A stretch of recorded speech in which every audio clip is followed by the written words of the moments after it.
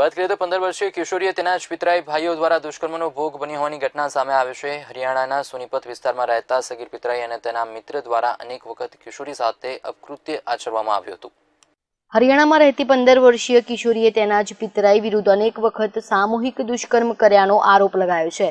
ગુનામાં પર્દાફાશ તે સમય થયો જ્યારે કિશોરીના પેટમાં દુખાવાની ફરિયાદ કર્યા બાદ તબીબી પાસે તપાસમાં ગયા હતા. તેમજ તપાસમાં કિશોરીને આઠ માસનો ગર્ભ હોવાનું બહાર આવ્યું હતું. સોનીપતના મહીપુરા ગામમાં રહેતી કિશોરીના કાકાના દીકરા અઢાર વર્ષના કિશોરી તેના પર વારંવાર દુષ્કર્મ આચર્યો હતો. એટલું જ નહીં, આ વાતની જો કોઈને જાણ કરી તો તેના માતા પિતાની હત્યા કરવાની પણ ધમકી આપી હતી.